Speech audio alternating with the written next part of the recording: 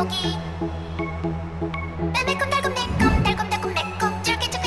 떡볶이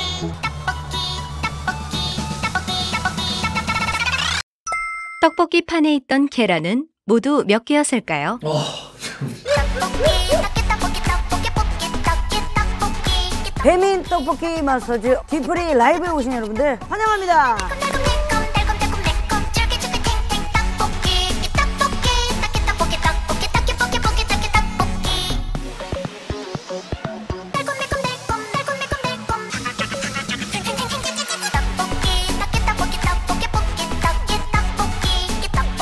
우승자는 0111판님 축하드립니다.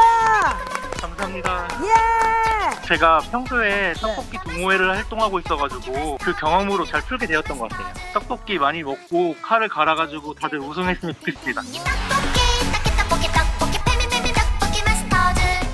떡볶이는 늘 우리와 함께였다. 언제나 우리 곁에 있어준 떡볶이에 진심 어린 감사와 존경을 표하는 바 11월 11일을 떡볶이의 날로 거듭 선언한다.